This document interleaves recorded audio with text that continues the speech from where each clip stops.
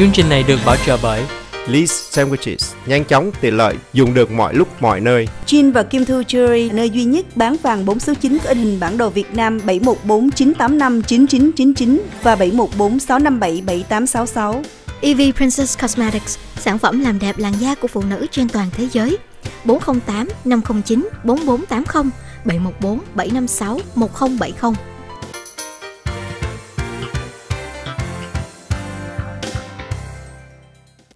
Nhi Huyền Hoàng Trọng Thủy trở lại với tất cả quý khán giả một lần nữa. Cảm ơn quý vị rất nhiều đã chọn tin tức của Leader Sài Gòn TV theo dõi vào sáng ngày hôm nay. Và cho đến khi nào mà chúng tôi bớt gửi đến quý vị cái tin tức liên quan đến bệnh cúm, điều đó cũng có nghĩa là vui. Chứ còn một khi mà chúng tôi dành rất nhiều thời giờ cà phê sáng để nói chuyện về dịch cúm thì quý vị thấy nghe nó rất là phiền. Nhưng mà đó là thông tin chúng ta cần biết. À, thí dụ như ở quốc tế, à, Iran như hồi nãy chúng tôi từng trình đó, cái tắc trách của và vô trách nhiệm của chính quyền nhất là chính quyền thần giáo hiện nay à, chuyên à, đưa cho người ta những cái tin tưởng về à, thượng đế vân vân Allah nhưng mà nó trở thành cái sự mù quáng. Và đây là hình ảnh để cho thấy cái sự mù quáng nó như thế nào. Những người Iran ngày nay đó họ vẫn tiếp tục đi đến các đền thờ Mặc dù ở bên phía Ả Rập Saudi họ đã ngăn cấm người dân hành hương đến Mecca trung tâm của người Hồi giáo vì lý do sợ lây nhiễm. Yeah. Đó là cái hành động có trách nhiệm. Yeah. Nhưng mà Iran á, họ vẫn không đóng cửa nha, họ vẫn tiếp tục cho và thậm chí quý vị có thể tưởng tượng không, một trong những cái tập tục và thói quen đó yeah. là đưa lưỡi liếm lên cái cửa để làm nơi thờ phượng thánh Allah. Yeah.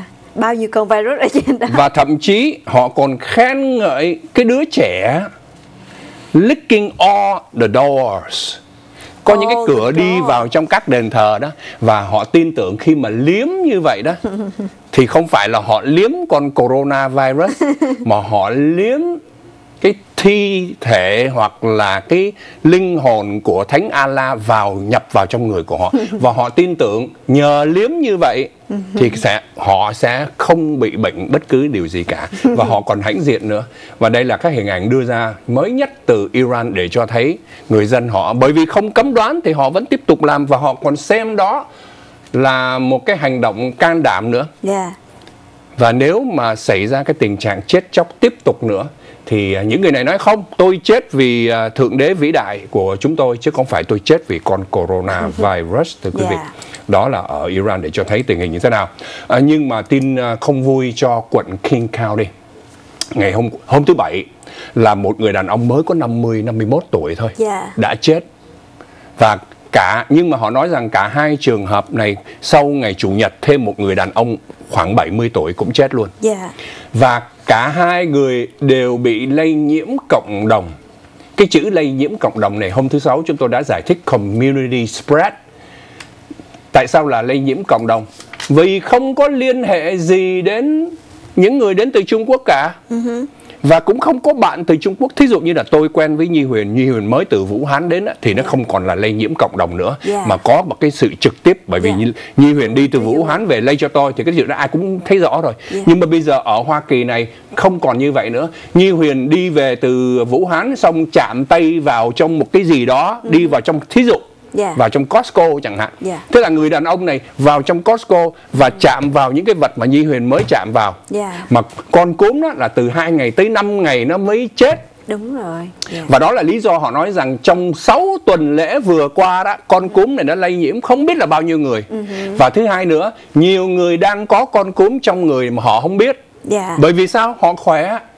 81% những người bị nhiễm không hề có bất cứ một cái biểu hiện nào của cúm cả. Thậm chí họ chỉ bị mild thôi. Hơ- hơi mệt mệt, ho ho.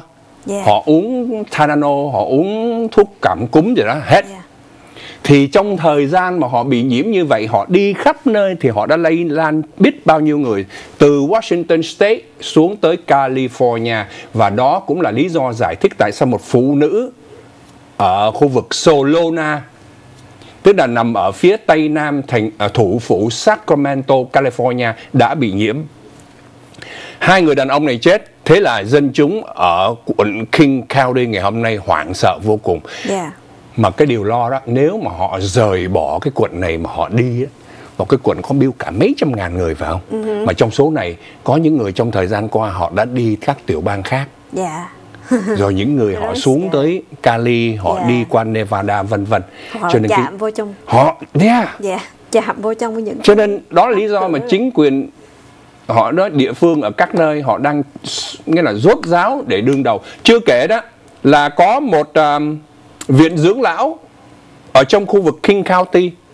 Bây giờ họ đã cách ly toàn bộ mà đây là những nơi chăm sóc cho người già những người có tiền bệnh. Yeah. hai người đàn ông qua đời vừa rồi đó là có tiền bệnh rồi họ đã Yeah. bị những cái bệnh về à, nội tạng phổi và nhất là những ai bị phổi nè tiểu Ừ Có bệnh đường phổi hoặc là tiểu đường, những cái yeah. triệu chứng khác trong cơ thể đó là dễ bị tấn công và thiệt mạng hơn nữa cho nên à, tình hình này xem ra à, cơ quan CDC cho biết vấn đề là cái số người lây nhiễm càng ngày càng tăng và thậm chí trong số cộng đồng của chúng ta ở đây có khả năng là có người đã bị nhiễm mà chúng ta không biết. Chưa biết thôi chưa có test ra thôi. Dạ. Mà cho đến khi họ bắt đầu có triệu chứng nặng Thì thì, họ liên lạc. Dạ. Lúc đó thì bệnh viện mới biết được là người đó có bệnh hay không. Dạ. À, tuy nhiên, tuy nhiên à, trong bản tin này thì có một cái tin lạc quan đó là cơ quan y tế quận Cam à, ngày hôm qua thông báo cho biết họ đã sẵn sàng để thử nghiệm chúng ta. À, cho nên họ nói như thế này. Nếu trường hợp quý vị có người biết biết người quen hoặc người trong gia đình ho sù sụ mệt đó là triệu chứng đầu tiên đó à, khó thở đại khái như thế. Khó lên cơn sốt là ngay lập tức phải liên lạc với bệnh viện bấm 911 Dạ. quý vị đừng có lái xe tới bệnh viện. Ồ quý vị thấy không? Dạ. bởi vì mình không biết được mình có bị nhiễm cái đó không. Dạ. đừng lái xe tới hãy ở yên trong nhà. Xe cứu thương sẽ tới nhà. Và khi khi xe cứu thương tới đó họ đã có cái hệ thống cách ly rất là tốt. Dạ. Chứ còn quý vị tự động mà lái xe tới lây nữa. thì Dạ. quý vị sẽ lây hết cho tất cả. Mà cái điều quan trọng nhất ở đây đó là họ sợ là nhân viên y tế bác sĩ trong bệnh viện không có khả năng để đương đầu Dạ. bởi vì những người này sẽ là người nhiễm bệnh đầu tiên Dạ. như trường hợp ở King County vừa rồi hai nhân viên y tế hỗ trợ cho bệnh nhân bây giờ hai người này bệnh luôn Dạ. và bây giờ có ba trường hợp ở King County Washington State là trong trường hợp nguy cấp rồi Dạ. chưa biết là từ bây ngày hôm nay tới vài ngày nữa tình trạng họ sẽ như thế nào Dạ. bởi vì chúng ta không có thuốc chữa Dạ. bây giờ chỉ cho uống thuốc giảm sốt mà thôi Dạ. uống thuốc giảm sốt uống thuốc à, pneumonia tức là bị viêm phổi đó Viêm phổi. uống những cái loại thuốc đó mà thôi chứ còn đâu có không có thuốc chữa dạ à, cho nên họ nói nếu trong trường hợp mà quý vị bị nhiễm cúm bất cứ cúm gì cúm mùa hay coronavirus đừng vào bệnh viện. Nhân viên y tế sẽ tới nơi để mà bảo đảm. Nó cách ly trong nhà của quý vị thôi dạ. trong trường hợp nặng. Họ nói rằng kể cả con nít mà bị nó cũng đừng đưa tới bệnh viện cái khu khẩn cấp. Dạ. Nhất là những cái triệu chứng về cúm như thế này. Dạ. nhưng mà họ nói rằng quận Cam đã sẵn sàng để thử nghiệm bất cứ ai vào bệnh viện lúc này đó là tin vui À, Dạ. nhưng mà không phải là quý vị lái xe đến bệnh viện, quý vị cứ ở nhà và họ có thử nghiệm để cho biết mình có bị con cúm tấn công hay không. Dạ. Nếu không thì đó là tin vui.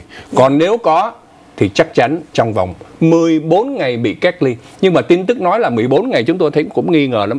Bởi vì có nhiều người 14 ngày sau mới thử nghiệm là positive. Dạ. Như trường hợp ở San Antonio. Con cúm này trong cơ thể chúng ta đó lên tới 22 27 ngày. dạ Gần một tháng luôn chứ không phải chỉ có hai tuần lễ mà thôi. Dạ. Nhưng mà họ cứ cho là bởi vì họ dựa trên à, cái dịch cúm bình thường và cũng như một số các dữ liệu từ Trung Quốc để cho đó là trung bình là 14 ngày. Nhưng mà thực sự có những trường hợp hơn 14 ngày nữa đó như Huyền. Dạ.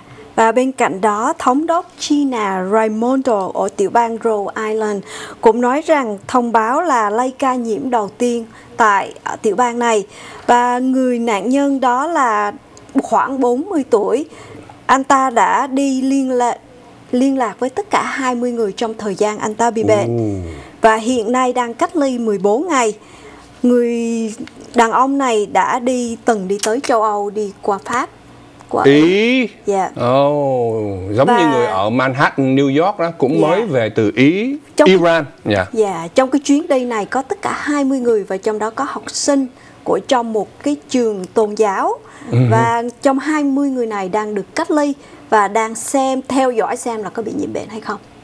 À, thành phố Costa Mesa có một tin vui chúng tôi sẽ gửi đến quý vị ngay sau phần quảng cáo mời quý vị cùng theo dõi.